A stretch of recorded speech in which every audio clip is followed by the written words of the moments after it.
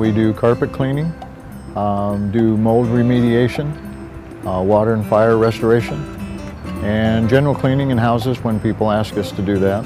One of the uh, standards for ServiceMaster is to honor God in all we do and also to honor the customer first. But I won't overcharge for something that's not necessary.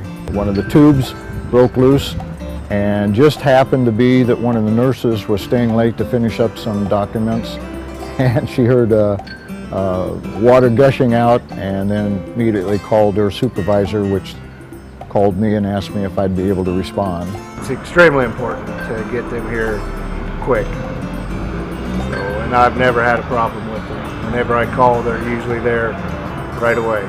It used to be just in the Fairfield area, but now we've expanded up to Bloomfield and Albia, Ottumwa,